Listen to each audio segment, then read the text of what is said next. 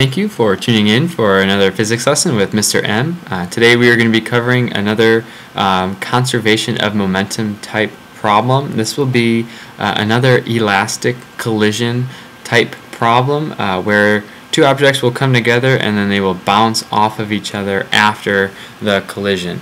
Um, so keep in mind um, when we do these conservation of momentum problems, uh, the main concept here is that the total uh, initial momentum is equal to the total final momentum of the collision. And so the way that we go about um, showing this mathematically looks something uh, like this.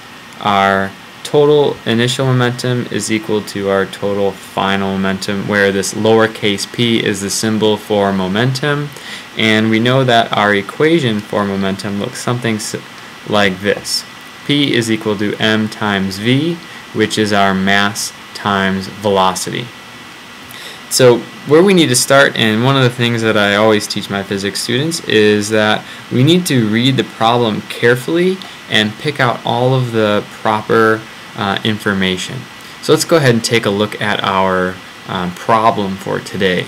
Um, here we have an 80 kilogram running back running eastward at 1.5 meters per second uh, before getting tackled by a 95 kilogram linebacker traveling at 2 meters per second westward. Both players bounce off each other after the collision. If the linebacker continues moving in the same direction at 0.5 meters per second, what is the velocity and direction of the running back? Um, so here we have two objects. We have the running back and the linebacker. And we want to kind of separate the information for both. Okay, so we know that our running back is 80 kilograms, um, running, traveling eastward at 1.5 initially, so before getting tackled. And if we go all the way down to the end of the problem, we know that we want to find the velocity and direction of that running back. Uh, on the other hand, we do have our linebacker, who is 95 kilograms. The linebacker initially is traveling at 2 meters per second westward. After the collision, that linebacker is moving at 0.5 meters per second in the same direction that it was traveling at. So it's continuing to move westward. All right? So that is all of our relevant information from the problem. Uh, now what we have to do is we have to set up our problem and Here's the most difficult part of the whole solving of these conservation momentum problems is, is um, setting up our problem. So initially we have two objects uh, and afterwards we also have two objects. So we need to know the mass and velocity of each of those objects before and during. So initially we're going to need to know the mass and velocity of the running back and then we're going to also need to know the mass and velocity of the linebacker. That's going to have to equal the mass and velocity of the running back afterwards along with the mass and velocity of the linebacker afterwards as well. Okay, um, this is an M. Okay, I apologize. That looks pretty bad. Okay, another thing that I like to do is I like to kind of split my problem down the middle and try to try to treat it as two separate two separate problems because um, they're going to be equal to each other. So this just makes it a little bit easier to kind of separate the information. Okay, and once again, um, here we have our running back and our running back before and after, and then we have our linebacker before and after as well. So this kind of correlates to the information that we picked out in our problem. Now one of the tricky things about um, these elastic uh, collision problems or really any conservation momentum problem is the addition of the direction. We need to actually set a positive and a negative value for our directions. Okay, and so because my initial um, value here is eastward at 1.5. I'm just going to go ahead and, and assign that eastward direction as a positive value. Okay, so eastward is going to get positive values for the velocity, but if we're traveling westward, because that's in the opposite direction, that's going to get a negative value for all of the velocities as well. This is really important, um, key to setting up your problem um, appropriately. Now these are just arbitrary. We could have also made the eastern direction negative and the western positive. We could have flipped those. It's okay to do that.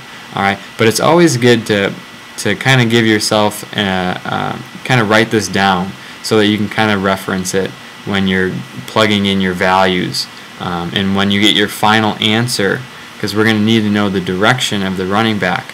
If our final answer comes out to be negative, I know he was traveling westward. But if our final velocity comes out to be positive, then I know that he was traveling eastward. Okay, so that's why we set this up the way that we have. All right, so let's go ahead and plug in our values. The, the mass of our running back was 80 kilograms, and he was initially traveling at 1.5 meters per second. I can leave that as positive. The mass of my linebacker is 95 kilograms. But because the linebacker was traveling westward, I need to have a negative 2.0 meters per second here. This is key. A lot of students get mixed up. Um, they either forget to put the negative here or um, they're just really confused on where the negative or the positive goes. Remember, that only pertains to the direction that of the velocity. Okay. So that's all our initial information. So let's go ahead and plug in our final information. The mass of our running back does not change. So we can still have 80 kilograms here. We do not know the velocity, so we're just going to leave that as a V. The mass of our linebacker does not change either, still 95 kilograms. And the velocity here comes out to be negative 0.5 meters per second because he's traveling in the same direction as he was initially and we know that it was 0.5 meters per second. Okay, so now all we have to do at this point is crunch the numbers. Alright, our 80 times 1.5, that comes out to be 120. Um, Newton seconds is our value, um, our unit for momentum. We're going to add that to 95 times negative 2, which gives us negative 190 newton seconds. That's going to equal 80 times V plus 95 times negative 0.5 gives us negative 47.5 newton seconds. Okay. So come back over here. 120 plus negative 190 gives us negative 70 newton seconds. And over here I have 80V minus 47.5 newton seconds. To get this V all by itself, we're going to have to add 47.5 on both sides.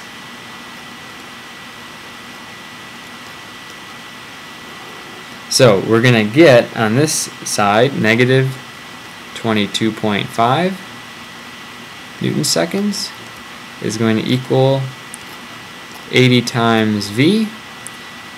To get V all by itself, we're going to divide by 80 on both sides. And when we go ahead and do this calculation, our answer V is going to equal negative 0. 0.28 meters per second. The fact that this is a negative value means that our runner is traveling in the westward direction, which kind of makes sense um, because the linebacker has a little bit more mass, was traveling a little bit faster. So when they when that larger um, person tackles the, the smaller person, we kind of expect that that smaller person is going to travel in the same direction as the linebacker. which is what we see here. Okay, so our velocity ends up being negative 0.28 meters per second. Hopefully this video was helpful for you and hopefully it helps you solve your own problem at home. Thanks for tuning in.